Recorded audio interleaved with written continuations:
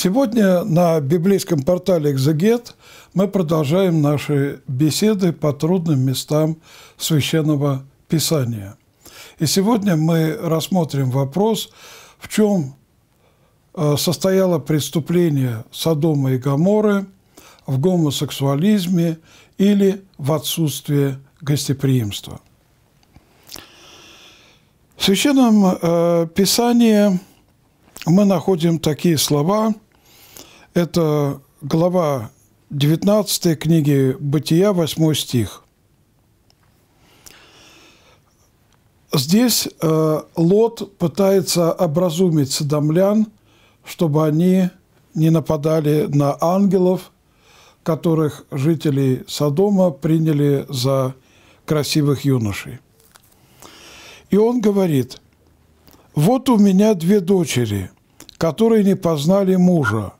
Лучше я выведу их к вам, делайте с ними, что вам угодно, только людям сим не делайте ничего, так как они пришли под кров дома моего».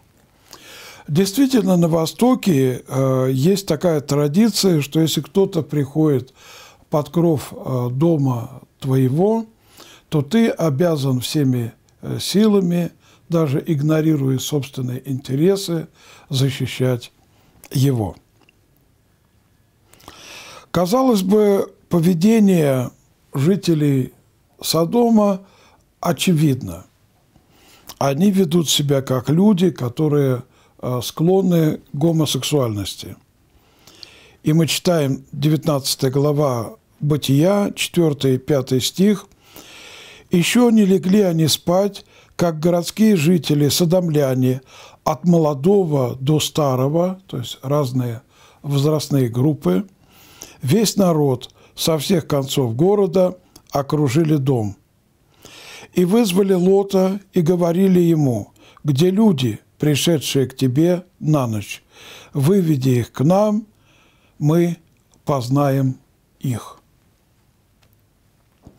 В чем, э, собственно говоря, проблема – в книге Закииле, 16 глава, 49 стих, перечисляются грехи Содома.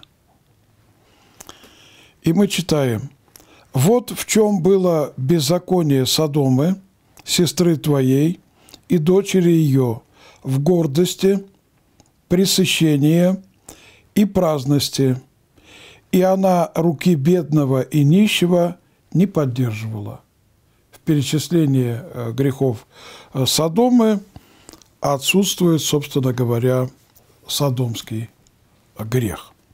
О чем это может говорить? Более того, мы знаем, что у Лота были зятья, которые сватывались за его дочерей. Это 19 глава книги «Бытия», 14 стих – и вышел Лот и говорил с зятьями своими, которые брали за себя дочерей его. То есть не все э, люди этого города были гомосексуалисты. Это очевидно.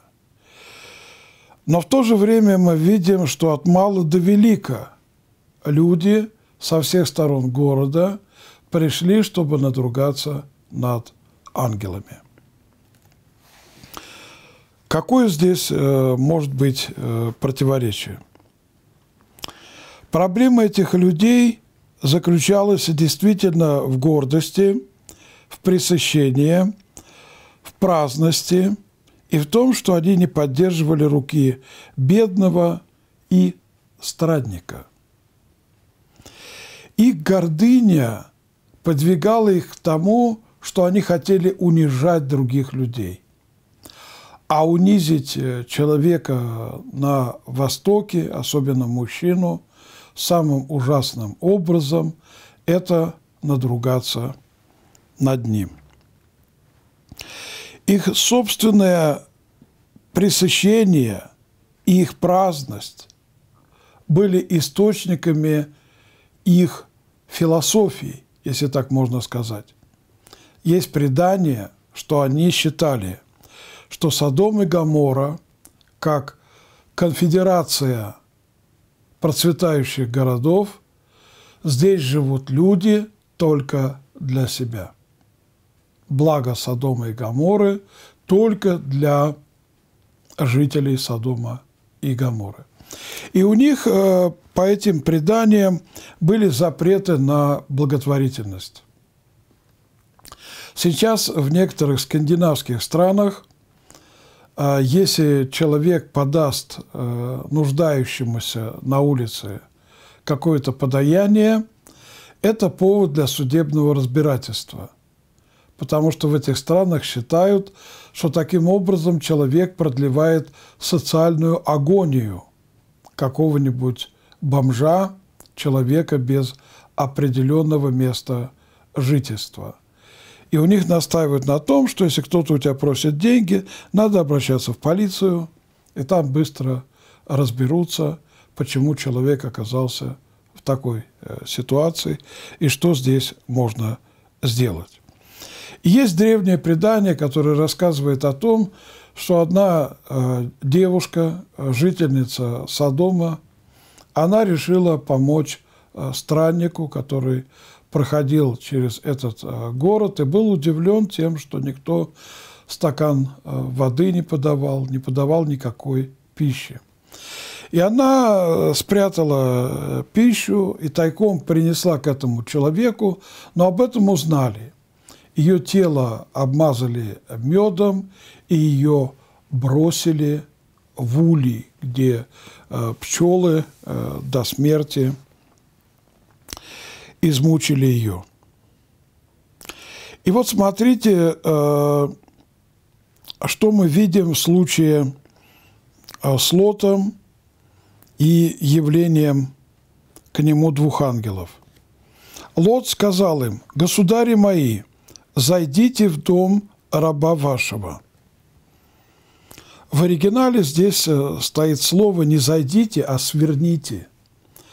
То есть пройдите окольным путем, чтобы никто не догадался, что вы идете ко мне на ночь. И сказал, государи мои, зайдите в дом раба вашего и ночуйте – и умойте ноги ваши. Но согласитесь, все бывает наоборот. Сначала умывают ноги, а потом ночуют. Почему здесь порядок нарушен? Объяснение такое. Если в дом э, ворвутся садомляне, то Лот смог бы сказать, да, они только пришли, видите, у них э, ноги не обмыты, они все в пыли. То есть это была мера предосторожности э, против тех э, жестокостей, э, которые применяли садомляне, жители Содома и Гаморы по отношению к странникам и пришельцам. Их образ жизни довел их до крайних форм извращения. Эти люди забыли заботу о других и в противоположность этому стали совершать сексуальные преступления по отношению к другим людям. И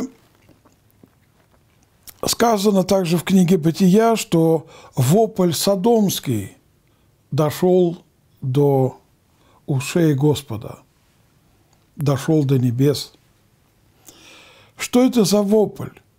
И некоторые экзегеты э, обозначают проблему.